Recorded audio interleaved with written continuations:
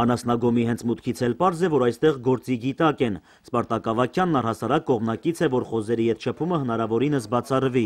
Ասում է, որքան քիչ շփում, այնքան համաճարակի փոքր հավանականություն։ Պատուհաններն էլ պատել է մանր ցանցով, որ միջատները ելումուտ չանեն, մասնագետների խորհուրդն է։ Ես բաց չեմ թողում, հատե պատուհանների վրա սետկա եմ խփել, ճանճերի բաներ եմ խփել,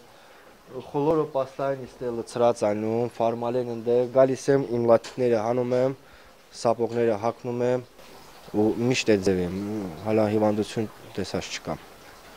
Ինչ որ պահանջում են անասնաբուժական կենտրոնից սաղանում եմ։ Ու նորմալ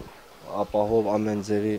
ինչ խնդրի նոմա զանգում եմ, խնդիրս լուծում եմ։ Սպարտակ Ավակյանը կիրառում է խոզաբուծության արտասահմանյան փորձը, արտերկրում դասընթացների չի մասնակցել։ Պարզապես համացանցի օգնությամբ ուսումնասիրում է այն եւ առաջնորդվում։ Երիտասարդ մենատնտեսը խոզերին կիրակրում է ոչ ավանդական եղանակով, ոչ թե ջրիկ կեր, այլ համակցված չոր։ Կենթանիների պահվածքից հասկանում է, երբ ինչ պետք է տալ։ Կյարի եմ խառնում, ցորեն եմ խառնում, եգիպտացորեն եմ խառնում,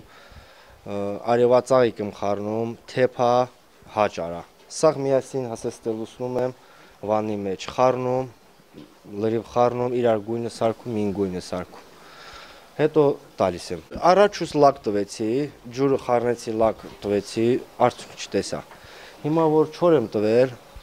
արդյունքը տենում եմ, էլի։ Կայուն եկամուտ ունենալու համար երիտասարդ մենատնտեսն առաջարկում է մսատու ցեղատեսակ պահել։ Հակառակ դեպքում հաճախ չի օգնում անգամ արտասահմանյան փորձը։ Խոզաբուծությամբ զբաղվում է մոտ 1 տարի։ Հիմա հմտացել ու տիրապետում է գախնիկներին պահեի սիմուլալ 9 ամիս 40 կիլո միս ա տվել։ Հիմա որ պահում եմ 6 ամիս զորոյից։ Նույն ձևի 40 կիլո, 3 ամիս շուտ ա տալիս միս։ Ու նորմալ միս։ Երիտասարդ մենատնտեսը մշտապես խորհրդակցում է շրջանի մասնագետների հետ։ Նրա խոսքով առանց դրա հնարավոր չէ։ Խորհրդակցելուց առաջ Սպարտակը պայմաններ է ստեղծել անասնագոմում, հատակը մարմար է շարել անցկացրել կոյուղի եւ մեծ ուշադրություն է հատկացնում պահման կանոններին։ Բացառապես փակ վիճակում են կենթանիները։ Մսի որակից մսագործները գոհ են պատմում է։ Պաստայանի ջուրը կա, պաստայանի։ Ջուրը լուսնում է, իրակ ջուրը մաքուր խմում են, չոր կերի ուտում են, պարկում են քնում, հասերից վիճակն էլի Միակ խնդիրը, որ խոչընդոտում է երիտասարդ մենատնտեսի աշխատանքներին անասնագոմի տանիքի վիճակն է։ Արջևում ձմեռն է, անձրևաջրի կաթոցներն էլ արդեն նկատելի են։ Հուսով է խոզաբուծության զարգացման պետական ծրագրով հնարավոր կլինի լուծել խնդիրը։ Վստահ է փոխառության տարբերակն աշխատավոր մարդու համար օգնության ձեռք է։ Նարեկ Սահակյան, Մերուժան Մարտիրոսյան, օր